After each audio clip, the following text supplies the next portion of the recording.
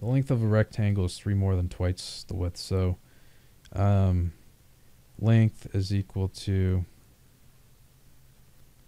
2w plus 3. The area is 44 inches. Okay, so L times W equals 44. So we just substitute in for L the 2W plus 3 times W equals 44. So we get 2W squared plus 3W minus 44 equals 0. Um, I have no idea what that is. I'll calculate it really quick. Okay, so my factors end up being uh, W minus 4 2w plus 11 equals 0.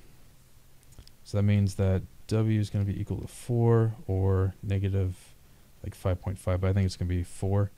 So that means if w is equal to 4, that means length, plugging that in for w, 4, so I get 8 plus 3, so length is going to be equal to 11, which makes sense. 4 times 11 is 44. So what's going to be 4? Um, length's 11, which is A. All right. I hope this helps you out. Thanks for watching. Have a great